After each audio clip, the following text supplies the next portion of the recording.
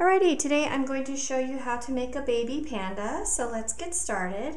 We're going to start out with a circle in the middle of your paper.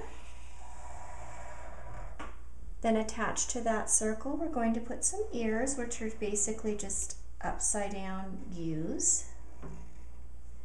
And then inside the circle, you're going to make two large circles.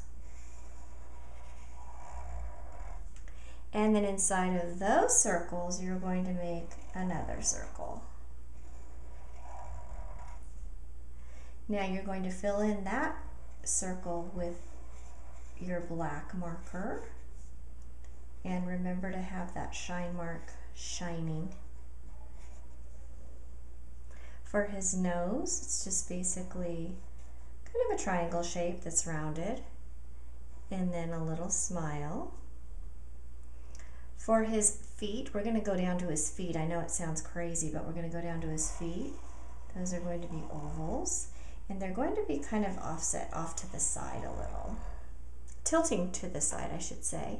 Inside of each foot, you'd like to put three little circles for toes. And then underneath those three circles, another circle that's a little bit larger. Now for his hands, they're going to kind of run into his feet.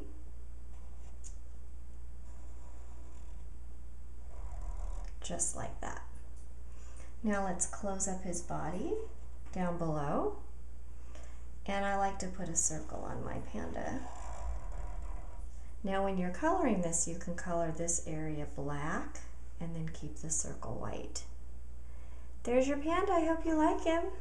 Thank you for watching.